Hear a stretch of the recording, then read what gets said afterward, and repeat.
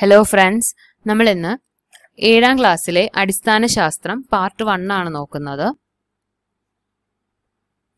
ഇതിലെ first chapter ആണ് മണ്ണിൽ പൊന്നു വിളയിക്കാം. ഇതിൽ പ്രധാനമായും കാർഷിക മേഖലയിലെ ഉൽപ്പാദനം വർദ്ധിപ്പിക്കാൻ ആവശ്യമായ ചില മെത്തേഡുകളാണ് ഡിസ്കസ് ചെയ്യുന്നത്. ആദ്യത്തെ ഒരു പോയിന്റ് ആണ് നല്ല വിളവ് ലഭിക്കണമെങ്കിൽ പരിചരണം മാത്രം പോരാ മറ്റു പല ഘടകങ്ങളും പരിഗണിക്കേണ്ടതുണ്ട്. അതായത് വളക്കൂറുള്ള മണ്ണ് അനുയോജ്യമായ കാലാവസ്ഥ നല്ല വിത്തുകളും നടീൽ വസ്തുക്കളും. വിത്ത് ഗുണം. അതായത് നമ്മൾ കൃഷിക്ക് വിത്തുകൾ തിരഞ്ഞെടുക്കുമ്പോൾ നല്ല വിത്തുകൾ തിരഞ്ഞെടുക്കണം. എന്നാലേ നല്ല വിളവ് ലഭിക്കുകയുള്ളൂ. പാകി മുളപ്പിക്കൽ വെണ്ട പയർ തുടങ്ങിയ ചെടികളെല്ലാം വിത്ത് പാകി മുളപ്പിച്ചാണ് നമ്മൾ തൈകൾ ഉണ്ടാക്കുന്നത്. വിത്ത് പാകി മുളപ്പിച്ച് അവയിൽ നിന്ന് മികച്ച തൈകൾ പറിച്ചു നടുന്ന രീതിയാണ് ഈ പാകി മുളപ്പിക്കൽ എന്ന് പറയുന്നത് വഴുതന കൃഷിയിൽ ഇതാണ് ചെയ്യാറുള്ളത്. ഇനി തണ്ട് മുറിച്ചും നമുക്ക് പുതിയ ചെടികൾ ഉണ്ടാക്കാവുന്നതാണ്. അതിനെ നമ്മൾ കായിക പ്രജനനം എന്നാണ് പറയുന്നത്. ഈ വിത്തിൽ നിന്ന് പുതിയ ചെടികൾ ഉണ്ടാക്കുന്നതിന് ലൈംഗിക പ്രത്യുൽപാദനം അഥവാ സെക്ഷൽ റീപ്രൊഡക്ഷൻ എന്ന് പറയുന്നു. സസ്യങ്ങളുടെ വേര് തണ്ട് ഇല തുടങ്ങിയ ഭാഗങ്ങളിൽ നിന്ന് പുതിയ തൈച്ചെടികൾ ഉണ്ടാകുന്നതിന് കായിക പ്രജനനം അഥവാ വെജിറ്റേറ്റീവ് പ്രൊപ്പഗേഷൻ എന്നാണ് പറയുന്നത്.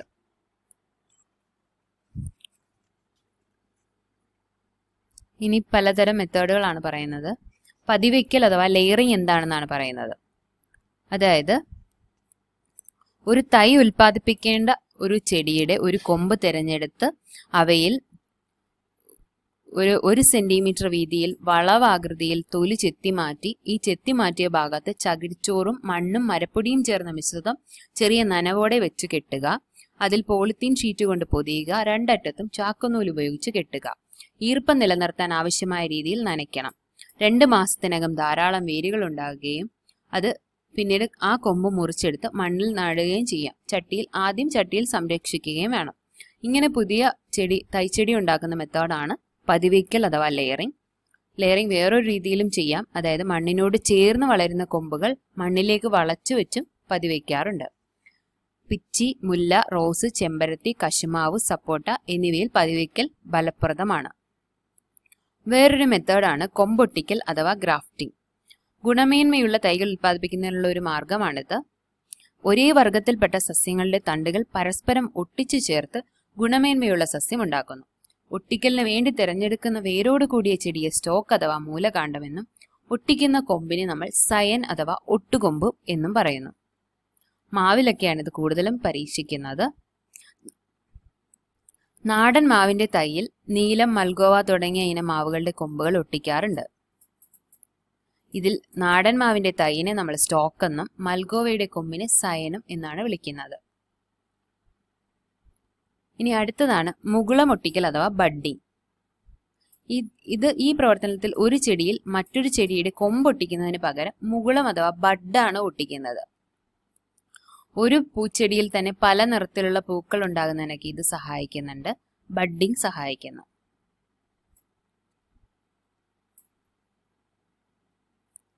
ഇനി ഗുണങ്ങൾ ചേർന്നാൽ. ഒരേ ഇനത്തിൽപ്പെട്ട വ്യത്യസ്ത ഗുണങ്ങളുള്ള സസ്യങ്ങളെ ഒരുമിച്ച് ചേർത്ത് പുതിയ തൈച്ചെടികൾ ഉണ്ടാക്കുന്ന രീതിയാണ് വർഗസങ്കരണം അഥവാ ഹൈബ്രിഡൈസേഷൻ. ഒരേ വർഗത്തിൽപ്പെട്ടതും വ്യത്യസ്ത സ്വഭാവ സവിശേഷതകളുമുള്ളതുമായ ചെടികൾ തമ്മിൽ കൃത്രിമ പരാഗണം നടത്തി പുതിയ വിത്തുകൾ ഉൽപ്പാദിപ്പിക്കുന്ന രീതിയാണ് വർഗസങ്കരണം അഥവാ ഹൈബ്രിഡൈസേഷൻ.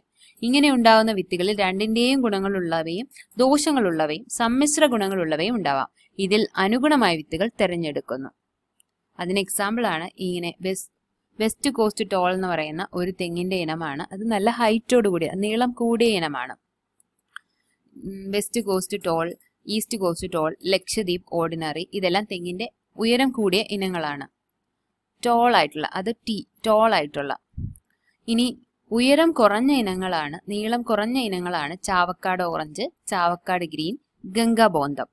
ഇതിനെ മിക്സ് ചെയ്ത് അതായത് സങ്കര സങ്ക വർഗസങ്കരണം ചെയ്ത് എടുക്കുന്ന ഇനങ്ങളാണ് ഈ ടി ഇന്റു ഡി ഇനങ്ങൾ. നമ്മൾ തെങ്ങിന്റെ സങ്കരയിനം വിത്തുകൾ ചോദിക്കും ചോദിക്കാറുണ്ട് പരീക്ഷയ്ക്ക്. അപ്പം നമ്മൾ ടി ഇന്റു ഡി ആണ് തെങ്ങിന്റെ സങ്കരയിനം വിത്തുകൾക്ക് ഉദാഹരണമാണത്.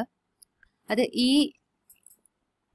ഈ ഇനങ്ങൾ വർഗസങ്കരണം നടത്തി ഉണ്ടാക്കുന്നവയാണത് ഇങ്ങനെയുള്ള സങ്കരീനം തെങ്ങുകൾക്ക് ഉദാഹരണമാണ് ചന്ദ്രലക്ഷ ചന്ദ്രശങ്കര ലക്ഷഗംഗ എന്നിവ. ഇത് സങ്കരീനം ഏതൊക്കെ ചേർന്നാണ് ഉണ്ടാക്കിയിരിക്കുന്നതാണ് കാണിച്ചിരിക്കുന്നത്. അതായത് ചന്ദ്രലക്ഷ എന്ന് പറയുന്നത് ലക്ഷദ്വീപ് ഓർഡിനറി അതായത് ഹൈറ്റ് കൂടിയ ലക്ഷദ്വീപ് ഓർഡിനറിയും ഡോർഫ് ആയിട്ടുള്ള ചാവക്കാട് ഓറഞ്ചും കൂടെ മിക്സ് ചെയ്ത് ഉണ്ടാക്കുന്നതാണ് ചന്ദ്രലക്ഷ. ഇനി ചന്ദ്രശങ്കര എന്ന് പറയുന്നത് ചാവക്കാട് ഓറഞ്ച് അതായത് ഡോർഫ് ആയിട്ടുള്ള ചാവക്കാട് ഓറഞ്ചും വെസ്റ്റ് കോസ്റ്റ് ടോൾ എന്ന് പറയുന്ന ലെങ്ത് കൂടിയ തെങ്ങും കൂടെ മിക്സ് ചെയ്തുണ്ടാക്കുന്നതാണ് ചന്ദ്രശങ്കര. ഇനി ലക്ഷഗംഗ എന്ന് പറയുന്നത് ലക്ഷദ്വീപ് ഓർഡിനറിയും ഗംഗാ ബോന്തവും കൂടെ ചേർത്തുണ്ടാകുന്നത് അതാണ് ലക്ഷഗംഗ. ഈ പേരുകളൊക്കെ ഓർത്തിരിക്കണം. ഈ തെങ്ങിന്റെ സങ്കര ഇനങ്ങളാണ് എന്നും ഓർത്തിരിക്കണം. ചന്ദ്രലക്ഷ ചന്ദ്രശങ്കര ലക്ഷഗംഗ. ഇനി നെല്ലിന്റെ സങ്കര ഇനം വിത്തുകളാണ് പവിത്ര ഹ്രസ്വ അന്നപൂർണ എന്നിവ. നെല്ലിന്റെ സങ്കര ഇനം വിത്തുകളാണ് പവിത്ര ഹ്രസ്വ അന്നപൂർണ. പയറിന്റെ സങ്കര ഇനം വിത്തുകളാണ് ലോല മാലിക ഭാഗ്യലക്ഷ്മി ജ്യോതിക. പയറിന്റെ സങ്കര ഇനം വിത്തുകളുടെ പേരുകളാണ് ലോല മാലിക ഭാഗ്യലക്ഷ്മി ജ്യോതിക. ഇനി പച്ചമുളകിന്റെതാണ് ഇത് നമ്മൾ കുറേ പ്രാവശ്യം ക്വസ്റ്റ്യൻ പേപ്പേഴ്സിൽ കണ്ടിട്ടുള്ളതാണ്. ഉജ്ജ്വല ജ്വാലാമുഖി എന്നിവ. ഉജ്ജ്വല ജ്വാലാമുഖി അനുഗ്രഹ. ഇതെല്ലാം പച്ചമുളകിന്റെ സങ്കരീനം വിത്തുകളാണ്. ഇനി വെണ്ടയുടേതാണ് കിരൺ അർക്ക അനാമിക സൽകീർത്തി. എല്ലാത്തിലും ഒരു കിരൺ അർക്ക അനാമിക സൽകീർത്തി വെണ്ടയ്ക്ക ആണെന്ന് ഓർത്തു വയ്ക്കുക കിരൺ അർക്ക അനാമിക സൽകീർത്തി. ഇനി വഴുതനയുടെ സങ്കരീന വിത്തുകളാണ് സൂര്യ ശ്വേത ഹരിത നീലിമ. സൂര്യ ശ്വേത ഹരിത നീലിമ വഴുതന. ഇനി തക്കാളിയുടെ വിത്തുകളാണ്. മുക്തി അനക അക്ഷയ. മുക്തി അനക അക്ഷയ തക്കാളിയുടെ സങ്കരയിന വിത്തുകളാണ്. ഇനി പാവലിന്റെ ഒരു സങ്കരയിന വിത്തുകളാണ്. പ്രിയങ്ക എന്ന് പറയുന്നത് പാവലിന്റെ ഒരു ഇനമാണ്. ഇത് നമ്മുടെ മണ്ണുത്തിയിൽ വികസിപ്പിച്ചെടുത്തതാണ്. നമ്മുടെ കാർഷിക ഗവേഷണ സ്ഥാപനങ്ങൾ എവിടെയാണെന്നാണ് അടുത്ത് പറയുന്നത്. കേരള കാർഷിക സർവകലാശാല മണ്ണുത്തി തൃശ്ശൂരിലാണ്. കേരള കാർഷിക സർവകലാശാല മണ്ണുത്തി തൃശ്ശൂർ. കേന്ദ്ര കിഴങ്ങുവിള ഗവേഷണ കേന്ദ്രം Sreekaryam Thiruvananthapuram. Indian institute of spices research അല്ലെങ്കിൽ സുഗന്ധവിള ഗവേഷണ കേന്ദ്രം കോഴിക്കോടാണ് ഉള്ളത് rubber research institute of India കോട്ടയത്താണ്. കേന്ദ്ര തോട്ടവിള ഗവേഷണ കേന്ദ്രം കാസർഗോഡാണ്. ഇതൊക്കെ ഒരുപാട് തവണ ചോദിച്ചിട്ടുള്ള ക്വസ്റ്റ്യൻസ് ആണ്. കേന്ദ്ര തോട്ടവിള ഗവേഷണ കേന്ദ്രം കാസർഗോഡാണ്. ഇനി ടിഷ്യൂ കൾച്ചർ എന്താണെന്നാണ് പറയുന്നത്? ഒരു ചെടിയുടെ കോശത്തിൽ നിന്നോ ഒരു കൂട്ടം കോശത്തിൽ നിന്നോ ചെടികൾ വളർത്തിയെടുത്ത് പുതിയ തലമുറയെ ഉൽപ്പാദിപ്പിക്കുന്ന പ്രവർത്തനമാണ് ടിഷ്യൂ കൾച്ചർ ഇതിന്റെ ഒരു ഗുണം എന്താണെന്ന് വെച്ചാൽ മാതൃസസ്യത്തിന്റെ എല്ലാ ഗുണങ്ങളുമുള്ള തൈകൾ ഈ സങ്കേത ഈ സാങ്കേതിക വിദ്യയിലൂടെ നമുക്ക് വികസിപ്പിച്ചെടുക്കാം. ഇനി വാഴ കുരുമുളക് ഏലം പൈനാപ്പിൾ തുടങ്ങിയ സസ്യങ്ങൾ ഈ സാങ്കേതിക വിദ്യ വിജയകരമായി ഉപയോഗിക്കുന്നു. ഒരു ചെടിയിൽ നിന്ന് തന്നെ അതിന്റെ സവിശേഷതകളുള്ള നൂറുകണക്കിന് തൈകൾ ഉൽപ്പാദിപ്പിക്കാം എന്നാണ് ഇതിന്റെ സവിശേഷത. ടിഷ്യൂ കൾച്ചർ എന്താണെന്ന് മനസ്സിലായി കാണുമല്ലോ? അടുത്തത് ഇടവിള എന്താണെന്നാണ്. കൃഷി ചെയ്യുമ്പോൾ നമ്മൾ പ്രധാന വിളകൾക്കിടയിൽ അവയ്ക്ക് ദോഷം വരാത്ത രീതിയിൽ കൃഷി ചെയ്യുന്ന ഹ്രസ്വകാല വിളകളെയാണ് ഇടവിളകൾ അഥവാ ഇന്റർ ക്രോപ്പ് എന്ന് പറയുന്നത്. മണ്ണിന്റെ ബലഭൂഷ്ടി നിലനിർത്താൻ ഇത് സഹായകമാണ്. അതായത് തെങ്ങിൻ തോട്ടത്തിന്റെ ഇടവിളകളായിട്ട് നമ്മൾ പയറൊക്കെ കൃഷി ചെയ്യാറുണ്ട്. ഇത് തെങ്ങിനും നല്ലത് തന്നെയാണ്. അതാണ് ഇടവിള അഥവാ ഇന്റർ ക്രോപ്പ് അടുത്ത വിള പരിചയം എന്താണെന്ന് വെച്ചാൽ ഒരു കൃഷിക്ക് ശേഷം അതേ കൃഷി തന്നെ ആവർത്തിക്കാതെ മറ്റൊരു വിള കൃഷി ചെയ്യുന്നതാണ് വിള പരിചയം അഥവാ ക്രോപ്പ് റൊട്ടേഷൻ എന്ന് പറയുന്നത്. ഇടവേളകളിൽ നെൽപ്പാടത്ത് പയറ് ഉഴുന്ന് എന്നിവ കൃഷി ചെയ്യാറുണ്ട്. ഇത് ക്രോപ്പ് റൊട്ടേഷന്റെ ഒരു ഉദാഹരണമാണ്. ഇടവിള അഥവാ ഇന്റർ ക്രോപ്പ് വിള പരിചയം അഥവാ ക്രോപ്പ് റൊട്ടേഷൻ ഇനി പയറുവർഗത്തിലുള്ള ചെടികളുടെ പ്രത്യേകത എന്താണെന്ന് വെച്ചാൽ പയറുവർഗ ചെടികൾ അഥവാ ലെഗുമിനസ് പ്ലാന്റ്സ് സസ്യങ്ങളുടെ വളർച്ചയ്ക്ക് ആവശ്യമായ ഒരു മൂലകമാണ് നൈട്രജൻ. അന്തരീക്ഷത്തിലെ നൈട്രജനെ നേരിട്ട് വലിച്ചെടുക്കാൻ സസ്യങ്ങൾക്ക് കഴിവില്ല. ജലത്തിൽ അലിഞ്ഞു ചേർന്ന് നൈട്രേറ്റ് ലവണങ്ങളാണ് സസ്യങ്ങൾ വലിച്ചെടുക്കുന്നത്. എന്നാൽ ചില ബാക്ടീരിയകൾക്ക് അന്തരീക്ഷത്തിലെ നൈട്രജനെ നൈട്രേറ്റ് ആക്കി മാറ്റാനുള്ള കഴിവുണ്ട്. ഇത്തരം ബാക്ടീരിയകളിലൊന്നാണ് റൈസോബിയം. ഇത്തരം ബാക്ടീരിയകളിലൊന്നാണ് റൈസോബിയം. പയർ തൊട്ടാവാടി കൊഴിഞ്ഞിൽ മുതിര ഉഴുന്ന് തുടങ്ങിയ സസ്യങ്ങളുടെ വേരിൽ ഇവ വസിച്ച് അന്തരീക്ഷ നൈട്രജനെ വലിച്ചെടുക്കുന്നു. ഈ സസ്യങ്ങൾ നശിക്കുമ്പോൾ സസ്യപോഷകങ്ങൾ മണ്ണിൽ ചേരുന്നു.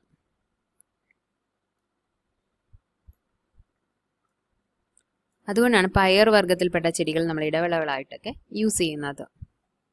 ഇവയുടെ വേരിൽ റൈസോബിയം ബാക്ടീരിയകൾ കാണപ്പെടുന്നു. അവയ്ക്ക് നൈട്രജൻ ഫിക്സേഷനുള്ള കഴിവുണ്ട്. അതായത് അന്തരീക്ഷത്തിലെ നൈട്രജനെ വലിച്ചെടുത്ത്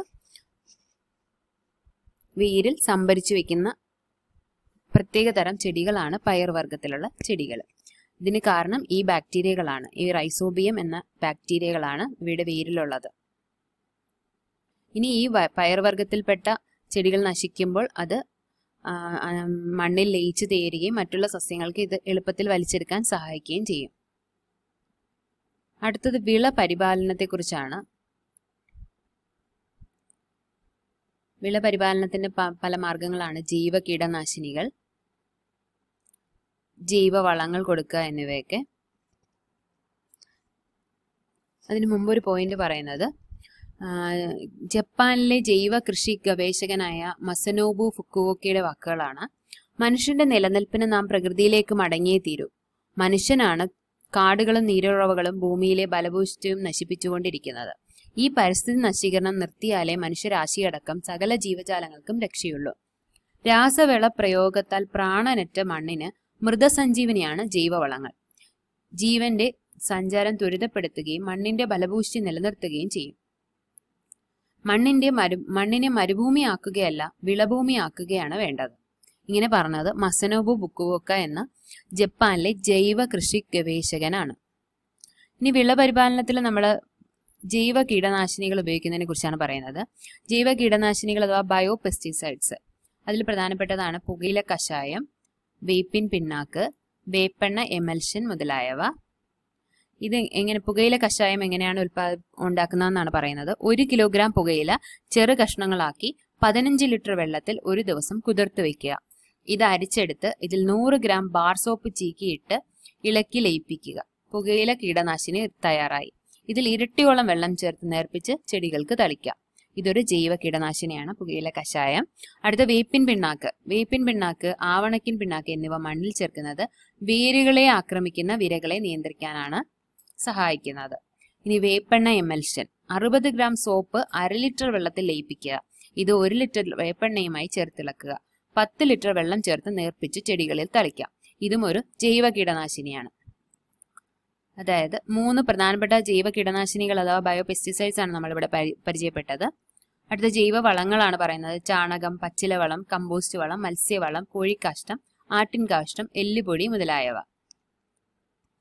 ജൈവ വളങ്ങളെയും ജൈവ കീടനാശിനികളെയും ഉപയോഗം ശീലമാക്കേണ്ടതിന്റെ ഒരു പ്രാധാന്യമാണുള്ളത്.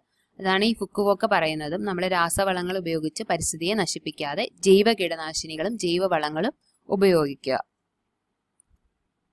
ഇനി നമ്മൾ വേറെ കുറച്ച് ഭക്ഷ്യവിളകളല്ലാതെ മറ്റു ചില വിളകളാണ് പരിചയപ്പെടുന്നത്. അതായത് പരുത്തി പുഷ്പകൃഷി തേയിലകൃഷി അലങ്കാര സസ്യകൃഷി ഇതെല്ലാം നമ്മൾ കൃഷി ചെയ്യാറുള്ളതാണ്. ഒരു ഇതിലൊരു പ്രധാനപ്പെട്ടതാണ് പരുത്തി അഥവാ കോട്ടൺ. ഇന്ത്യയിൽ കൃഷി ചെയ്യുന്ന മറ്റു പ്രധാന നാരുവിളയാണ് പരുത്തി. പൂർണ വളർച്ചയെത്തിയ പരുത്തിക്കായയിൽ നിന്ന് പഞ്ഞിയും കുരുവും വേർതിരിച്ചെടുക്കുന്നു. പഞ്ഞിയിൽ നിന്ന് നൂലുണ്ടാക്കുന്നു. പരുത്തിക്കുരു കാലിത്തീറ്റയായി ഉപയോഗിക്കാം. പരുത്തിക്കുരുവിൽ നിന്ന് ശേഖരിക്കുന്ന എണ്ണ വ്യാവസായിക ആവശ്യങ്ങൾക്ക് ഉപയോഗിക്കുന്നുണ്ട്. ഇന്ത്യയിലെ ഒരു പ്രധാനപ്പെട്ട കൃഷിയാണ് പരുത്തി കൃഷി അഥവാ കോട്ടൺ കൾട്ടിവേഷൻ. അടുത്തത് ചണം അഥവാ ജൂട്ടാണ്. ലോകത്തിൽ ഏറ്റവും അധികം ചണം ഉൽപ്പാദിപ്പിക്കുന്ന രാജ്യം ഇന്ത്യയാണ്. ചണച്ചെടിയുടെ തണ്ടിൽ നിന്നാണ് ചണനാരികൾ ലഭിക്കുന്നത്. ചണച്ചെടിയുടെ തണ്ടിൽ നിന്നാണ് ചണനാരികൾ ലഭിക്കുന്നത്. ചണക്കെട്ടുകൾ വെള്ളത്തിൽ താഴ്ത്തി വെച്ച് അഴുകിയതിനു ശേഷം തല്ലിച്ചതച്ച് നാരികൾ വേർപെടുത്തുന്നു ഇങ്ങനെയാണ് ചണം നിർമ്മിക്കുന്നത്. ചാക്കുനൂലൊക്കെ ചണനാരികളാണ്. അടുത്ത കയർ എന്താണെന്നാണ്? നാളികേര തൊണ്ടുകൾ വെള്ളത്തിലിട്ട് കുതിർത്ത് തൊണ്ട് തല്ലി നാരികൾ വേർതിരിച്ചെടുക്കുന്നു. ഇതിനെയാണ് നമ്മൾ കയർ ഉൽപ്പന്നങ്ങൾ ഉൽപ്പാദിക്കാൻ ഉപയോഗിക്കുന്നത്. ഇനി ഇന്റഗ്രേറ്റഡ് ഫാമിംഗ് അഥവാ സംയോജിത കൃഷി എന്താണെന്നാണ് പറയുന്നത്? ഒന്നിലധികം മേഖലകളെ പരസ്പരം ബന്ധിപ്പിച്ചുകൊണ്ടുള്ള ഒരു കൃഷി രീതിയാണ് ഇന്റഗ്രേറ്റഡ് ഫാമിംഗ് എന്ന് പറയുന്നത്. അതായത് ഇപ്പോൾ ഒരു നെൽകൃഷി നെൽകൃഷിയുടെ നെൽകൃഷിയിൽ നിന്ന് കിട്ടുന്ന വൈക്കോൽ നമുക്ക് പശുക്കൾക്ക് അതെ പശുക്കൾക്ക് ഉപയോഗിക്കാം. പശുക്കളുടെ ജൈവാവശിഷ്ടങ്ങൾ നമുക്ക് ഗ്യാസ് ഉൽപ്പാദിപ്പിക്കുന്നതിന് ഉപയോഗിക്കാം. ഈ സ്ലറി എടുത്ത് മറ്റുള്ള കൃഷിക്ക് വളമായി ഉപയോഗിക്കാം. അങ്ങനെ പരസ്പരം ബന്ധിപ്പിച്ച് കിടക്കുന്ന ഒന്നിലധികം മേഖലകൾ ബന്ധിപ്പിച്ച് കിടക്കുന്ന ഒരു കൃഷി രീതിയാണ് സംയോജിത കൃഷി രീതി അഥവാ ഇന്റഗ്രേറ്റഡ് ഫാമിംഗ് എന്ന് പറയുന്നത്. ഇതിന് മറ്റൊരു എക്സാമ്പിൾ ആണ് താറാവ് താറാവ് കൃഷി. ഈ താറാവ് കൂട് മത്സ്യക്കുളത്തിന് മുകളിൽ വയ്ക്കുന്നതിനുള്ള പ്രയോജനം താറാവ് ഉപേക്ഷിക്കുന്ന തീറ്റ മത്സ്യങ്ങൾക്ക് ലഭിക്കും. താറാവിന്റെ കാഷ്ടം ജലസസ്യങ്ങളുടെ വർധനവിന് കാരണമാകും. ജലസസ്യങ്ങൾ മത്സ്യങ്ങളുടെ ആഹാരമാണ്. ജലത്തിലെ കീടങ്ങൾ പായലുകൾ ഒച്ച് തവള കുഞ്ഞുങ്ങൾ എന്നിവ താറാവിന് ഭക്ഷണമായി ലഭിക്കുകയും ചെയ്യും. അങ്ങനെ പല അതായത് ഒന്നിലധികം മേഖലകളെ ബന്ധിപ്പിക്കുക തന്നെയാണ് ഇവിടെയും ചെയ്യുന്നത്. ഇനി കൃഷിയും കന്നുകാലി വളർത്തലും. കൃഷിയും കന്നുകാലി വളർത്തലും കേരളത്തിൽ പരമ്പരാഗതമായി നിലനിന്നിരുന്ന സംയോജിത കൃഷിക്ക് കൃഷിയാണ്. നെൽകൃഷിയോടൊപ്പം പശുക്കളെയും എരുമകളെയും വളർത്താം. തെങ്ങിൻ തോട്ടങ്ങൾ റബ്ബർ തോട്ടങ്ങൾ എന്നിവിടങ്ങളിൽ തീറ്റപ്പുൽ കൃഷി ചെയ്യാം. നെൽകൃഷിയിൽ നിന്ന് ലഭിക്കുന്ന വൈക്കോൾ നെല്ല് കുത്തിയ ശേഷം ലഭിക്കുന്ന തവിട് എന്നിവ കന്നുകാലികൾക്ക് തീറ്റയായി നൽകാം. തെങ്ങിൻ തോപ്പിൽ ആട് താറാവ് കോഴി എന്നിവയെ വളർത്താം. ഇതെല്ലാം സംയോജിത കൃഷികൾക്ക് ഉദാഹരണമാണ്. കേരളത്തിൽ നിലനിൽക്കുന്ന പരമ്പരാഗത സംയോജിത കൃഷിയാണ് കൃഷിയും കന്നുകാലി വളർത്തലും. ഇവയെല്ലാം പരസ്പരം ബന്ധപ്പെട്ട് കിടക്കും. ഇത്രയേ ഉള്ളൂ ഈ ചാപ്റ്ററിൽ ഫസ്റ്റ് ചാപ്റ്റർ കഴിഞ്ഞു. Okay thank